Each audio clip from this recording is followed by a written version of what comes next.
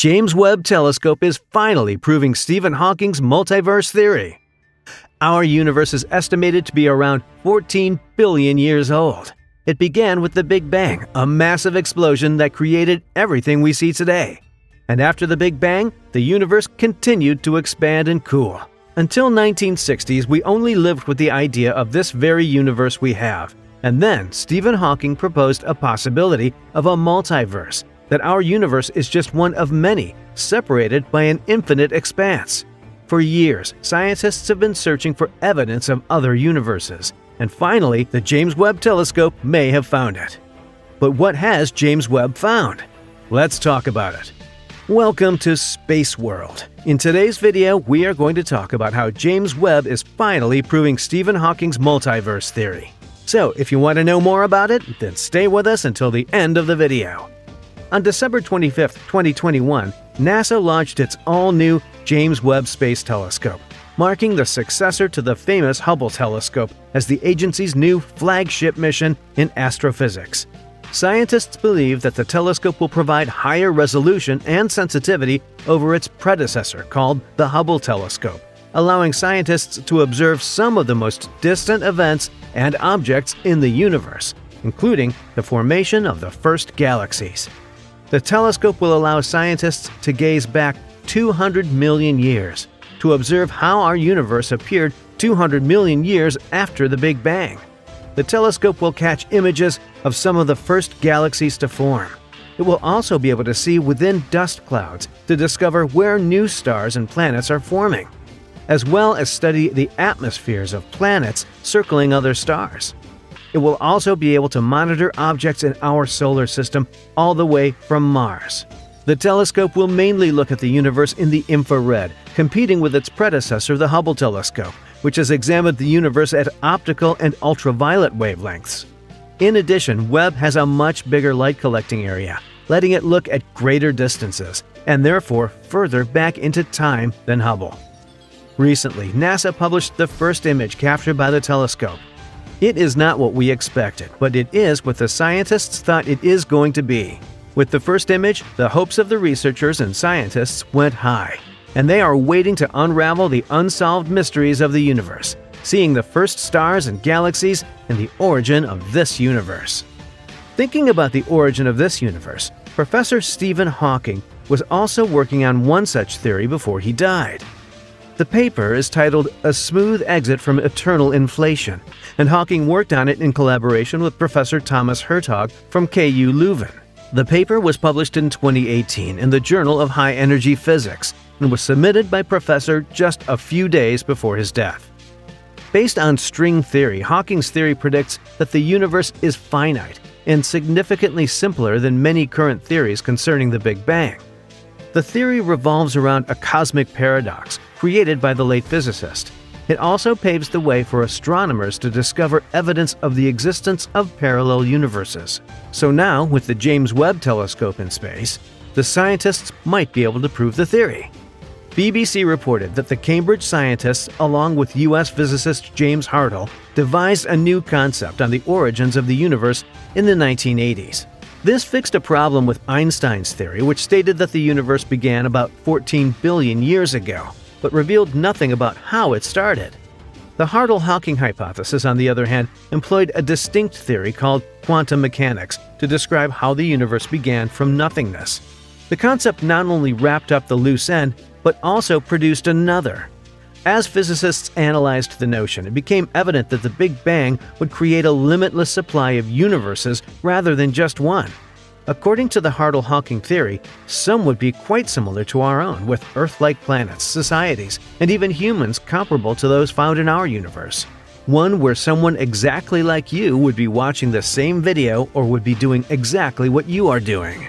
Hawking said in a statement, We are not down to a single unique universe, but our findings imply a significant reduction in the multiverse to a much smaller range of possible universes. So, Hawking contributed to the theory that led to the concept of infinite parallel universes. That concept relies on something known as eternal inflation. In science, it's known that other universes could arise from a theory called eternal inflation. The notion behind inflation is that the universe swiftly expanded following the Big Bang. expanding like a balloon.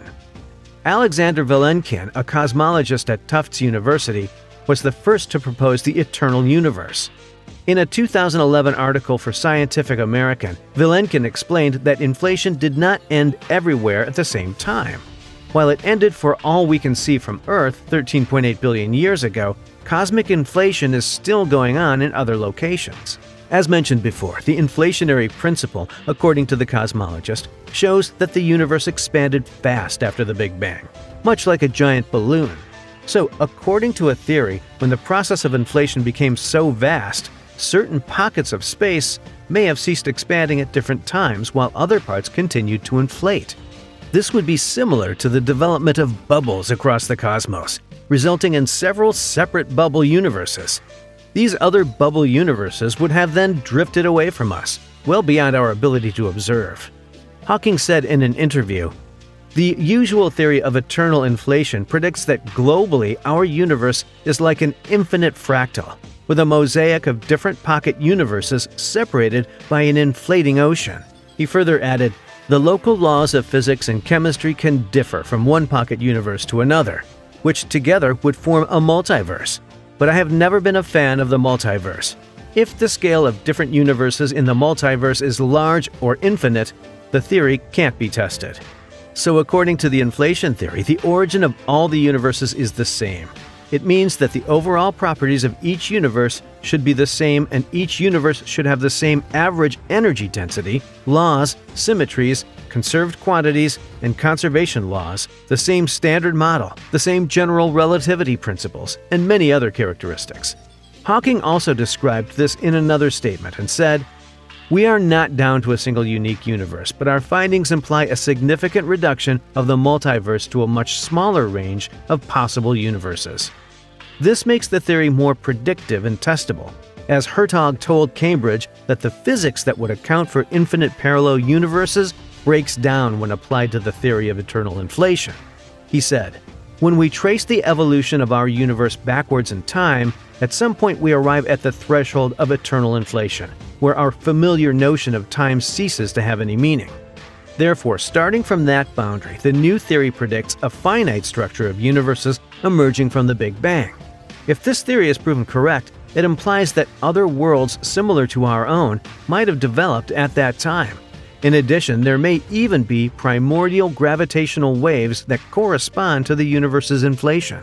However, the theory is not proven yet. But with the James Webb Space Telescope, the scientists are hoping that they might reach a conclusion.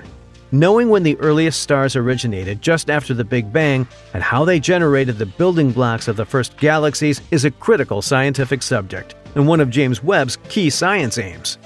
We know that the elements required for life in modern technology, including carbon, silicon, and gold, were eventually generated in early stars, but we don't know how.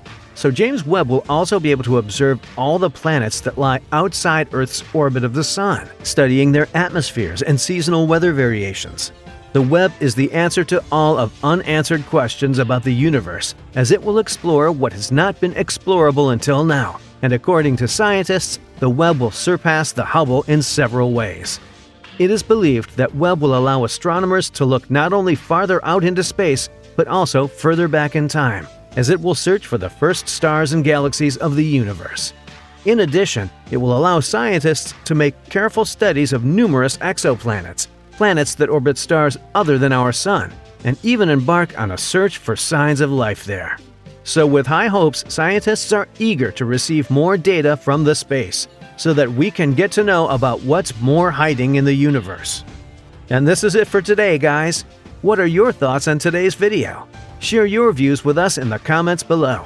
Also, don't forget to give this video a thumbs up, subscribe to the channel, and ring the bell icon for more amazing videos about space. And thank you for watching.